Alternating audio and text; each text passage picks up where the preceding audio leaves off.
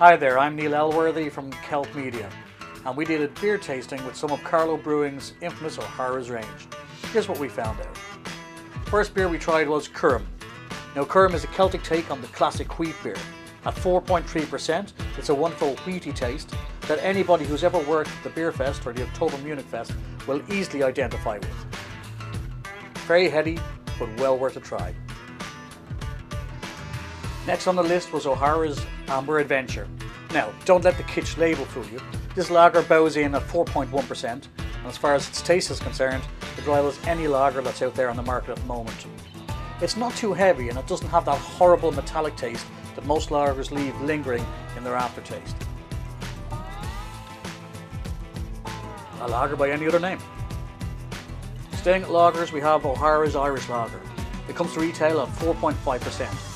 This impressive lager is full bodied as it's been hopped several times, giving it a distinct blend of tones and aromas. Without a doubt, a clean and balanced lager. Moving on to the lagers, it's time to start with the ales, and we're starting with O'Hara's Irish Red.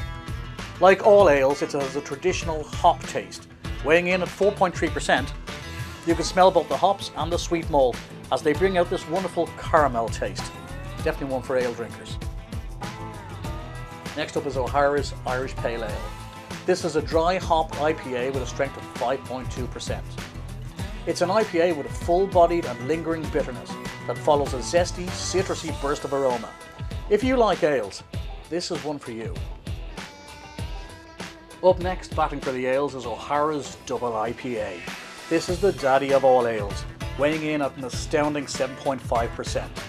Its hops give a strong aroma and their wonderful vibrant tastes of caramel, grapefruit and just a hint of chocolate. If you're an ale drinker, spoil yourself this weekend and go out and grab some of these. Trust me, you won't go far wrong. In our beer tasting night among friends, this won by a country mile, and two of those three don't even drink ale as a rule. Says it all, really. And so, on to the stouts. O'Hara's Irish Stout is an award-winning little number that comes to market at 4.3%.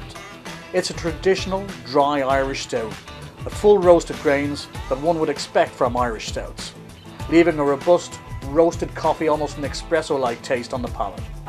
If you like stouts, you can't go wrong with this. Next up for the stouts is O'Hara's Leann Folláin Extra Irish Stout.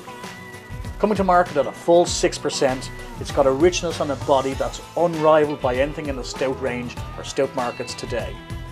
If you like dark chocolate or vanilla, then you're going to love this. It's got bite and a sweet mocha coffee-like aroma. A real stout crowd pleaser. Mm. Now remember, these are just a few beers that myself and my friends have tried and tested. All the opinions that you've heard are mine alone, but do feel free to try some of these and prove me right. Drink responsibly because beer is meant to be enjoyed by all.